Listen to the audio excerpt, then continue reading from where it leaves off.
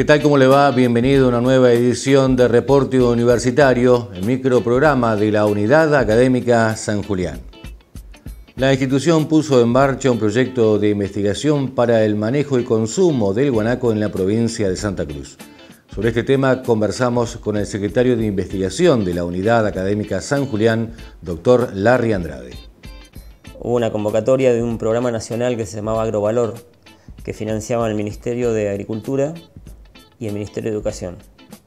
Nosotros nos presentamos, la UMPA se presentó con un proyecto en el cual había nodos. El nuestro era uno de esos nodos que se eh, interesaba en trabajar sobre el guanaco en lo que nosotros denominamos el aprovechamiento productivo del guanaco una cadena de valor en territorio, que era básicamente pensar la, esquila del guanaco y el aprovechamiento de la carne. Para eso obtuvimos un financiamiento de 400 mil pesos que eh, en aquel tiempo alcanzaba para todo lo que necesitábamos comprar. Hoy todavía no se ha terminado de pagar ese subsidio y estamos con las devaluaciones que ha habido y todo, estamos en problemas a ver si vamos a poder conformar el equipo. Pero en principio la propuesta sigue vigente y la idea es trabajar en dos establecimientos ganaderos aquí de la zona con la intención de hacer un, podríamos decir en términos económicos un margen bruto, por lo menos, de cuánto cuesta emprender esta actividad, en, el sentido de lo que regula el Plan Nacional de Manejo de Guanaco y el Plan Provincial de Manejo de Guanaco, y eh, mostrarle a los productores interesados en, resolver esta problemática por una vía eh, legal, digamos, y razonable, cuánto cuesta ponerse en marcha con esto, eh, pensando que la, fibra se vende a un tipo de mercado, la carne puede ir a otros. Todavía no hemos podido avanzar con eso, pero la intención es eh, trabajar sobre este, con este animal como objeto del, análisis, sobre todo a partir de lo, que significa el guanaco en los últimos años en, Santa Cruz, ¿no? sobre todo la problemática de las rutas. Ahora tenemos todo el material para hacer el encierre. O sea, compramos los postes, los corrales, la media sombra, el alambre. Eh, todo eso más o menos fueron 150 mil pesos. Ahora hay que llevar eso al campo, hay que armarlo y eh, hemos estado viendo con los dueños de los establecimientos, ya con, uno sobre todo, que es donde estamos haciendo la primera experiencia, es los lugares de... para eso hay que hacer, el Plan Nacional de Manejo exige un conteo de guanacos y un relevamiento de pastizales hecho por un personal habilitado, eso tiene un costo también. Nosotros hemos hecho eso, ahora hay que mandar todo esto a la Dirección Provincial de Fauna, donde hay una comisión de seguimiento de guanaco que va a analizar la propuesta y va a dar la viabilidad para hacer la esquila y la faena. Sobre la problemática que, mencioné al principio, esto de la problemática en las rutas, eh, me parece que es una problemática que va a exceder cualquier tipo de estos trabajos, porque en realidad se trabaja sobre una población silvestre, que va a seguir siendo silvestre, una vez que la esquila los animales se sueltan, salvo los que se seleccionan para faena. El guanaco es eh, una especie autóctona y el alambrado se puso para contener a una especie no autóctona como es la oveja. Entonces el guanaco no tiene ningún problema con los alambres, lo hemos visto, saltan perfectamente y eh, no hay forma, me parece a mí hasta ahora, no encuentro el modo en que se lo pueda mantener alejado de las rutas y evitar de ese modo el, peligro que suponen. Esto significaría un complemento económico para los productores que tienen sus campos con muchos animales, para eso se hace el conteo y la, estimación de pastizales, porque el plan de manejo prevé que los productores deben reservar un 10% de la superficie de su pastizal su campo con pastizal para alimentar la fauna autóctona. Todo lo que exceda de, esa cantidad estimada eh, de animales que pueden estar allí son los que podrían ser eventualmente sometidos a un proceso de esquila o de sacrificio para faena. Ahora estamos esperando un segundo desembolso del Ministerio de Educación. Justo nos agarró la transición esta del cambio de gobiernos, así que se cambiaron las personas. Eh, aparentemente estaría por salir. Ya igual al campo no podemos ir ahora por las condiciones del, clima y del suelo, ¿no? La idea sería a partir de agosto septiembre trasladar todos los materiales al campo. La UMPA tiene un tractor con el, parte del subsidio que nos viene ahora en, en estos días, suponemos. Vamos a comprar una holladora para hacer los pozos en el campo. Después que llevar una persona para armar los alambres, eso va con media sombra, los corrales son de metal, pero hay toda una parte de madera también donde los... O sea, montar toda la infraestructura. Y el plan prevé dos temporadas de manejo, o sea que tenemos que ajustarnos a esos plazos entre septiembre y entre octubre y noviembre se abre otra temporada. Esperamos ahí hacer una primera experiencia y mostrar eh, con la ayuda de ustedes probablemente qué es lo que se puede hacer y que no, digo, hacer un pequeño video con eso y mostrarlo cómo se hace, cómo lo hacemos nosotros por lo menos. Sobre esto todavía no hay nada escrito. Fuera de esto que podría ser un ingreso para los productores y tal vez para los mercados artesanales como la asociación Trasfulchem que está en San Julián y que trabaja con tejidos y que está iniciándose en esto de la tejeduría de fibra eh, y otros artesanas que hay en Gobernador Gregores y otras ciudades, que generaría una cadena de valor, empleo, trabajo, si esto se sistematiza en, el, en cuanto a la encierre, al volteo de los animales, a la esquila. Eh, todavía todo esto está por probarse y no, no quiero yo ser quien genere las expectativas de que esto es un negocio que puede funcionar. O sea, Hoy por hoy es, hay un problema con el guanaco, no es que el guanaco sea un problema, hay un problema con las poblaciones de guanaco que se han multiplicado a números impresionantes. El guanaco tiene una tasa de reproducción muy alta y es muy efectiva la aparición, por lo cual es probable que de no haber un control esto se siga multiplicando y multiplicando los accidentes también, pero este proyecto creo que puntualmente en el tema de accidentes no va a impactar. Se llevó a cabo en la Unidad Académica San Julián una jornada panel denominada Ni Una Menos. Esta actividad se llevó a cabo en conjunto entre la institución y la Municipalidad de Puerto San Julián.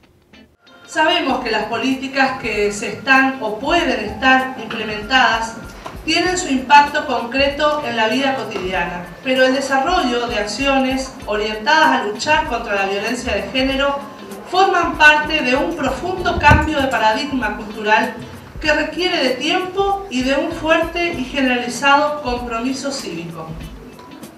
Es por esto que nos encontramos hoy, nuevamente para seguir avanzando en conjunto hacia la meta de una vida sin violencia y con el pleno ejercicio de los derechos humanos, que se constituyen la base central de la garantía de dignidad que todos y todas nos merecemos.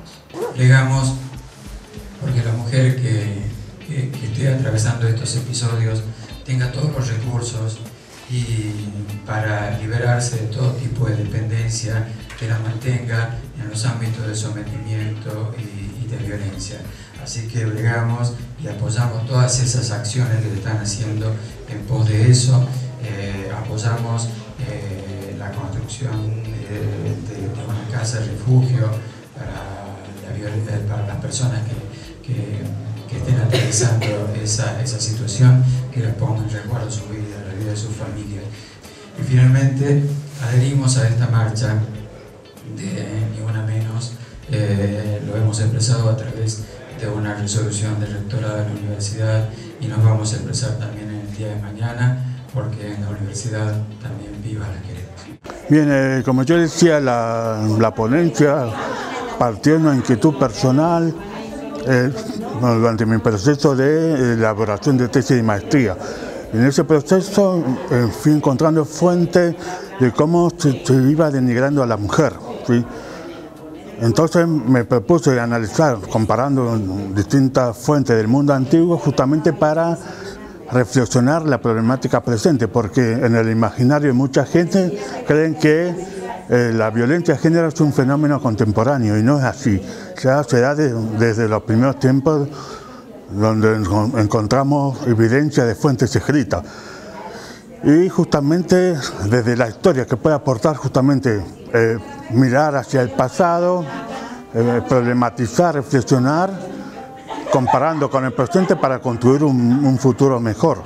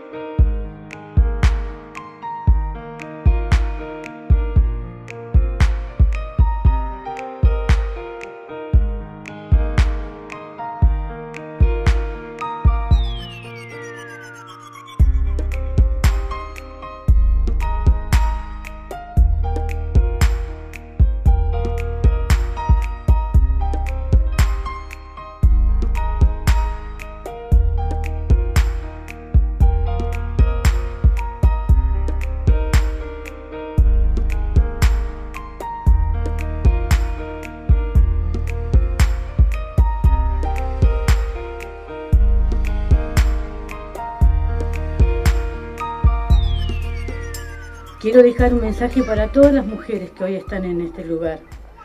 Yo, como le venía diciendo, lo, ve, lo veía desde afuera, pero hoy no podemos ser oídos sordos a todo lo que está pasando, porque puede ser tu amiga, puede ser tu mamá, puede ser tu vecina. Eh, todos tenemos derechos a vivir, porque la violencia es un problema de todo. Tenemos que vencer el miedo, romper el silencio, ser fuerte, no estamos solas. Conocer tus derechos y hacerlos valer. Tenés derecho a vivir una vida llena de felicidad y una vida libre de violencia. No seamos víctimas. Si tenemos alguna persona, por favor, no hagamos oídos sordos, denunciemos. Por las mujeres violentadas, por las mujeres golpeadas, abusadas, amenazadas, por las que no pudieron gritar, porque las que gritaron y no fueron escuchadas, que significan 2.094 víctimas de femicidios. Las víctimas colaterales, que son los hijos que quedaron sin madre. Los femicidios vinculados que suman 43. Exigimos justicia y un Estado que luche activamente cada día contra la violencia de género. Por implementación del botón antipánico, por la tobillera para controlar al agresor, por subsidios económicos para las víctimas, por aumento presupuestario del Estado para programas referidos a combatir la violencia de género, por capacitación específica sobre violencia de género para los profesionales vinculados a este tema. Vivas nos queremos. Muchísimas gracias.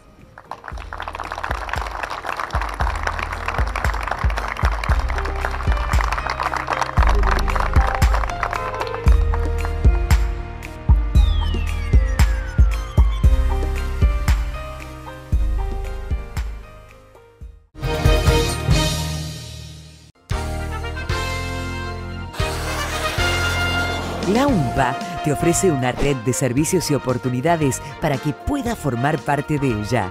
Licenciatura en Trabajo Social, Tecnicatura Universitaria en Minas, Tecnicatura Universitaria en Energía, Tecnicatura Universitaria en Recursos Naturales Renovables, Tecnicatura Universitaria en Gestión de Organizaciones, Tecnicatura Universitaria en Turismo, Licenciatura en Turismo, Enfermería Universitaria, Profesorado en Educación Primaria, Licenciatura en Administración.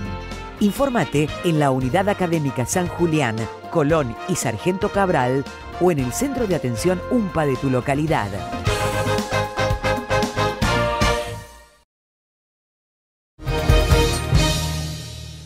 Esto es todo por hoy, muchas gracias por su atención. Hasta una nueva edición de Reporte Universitario Televisión.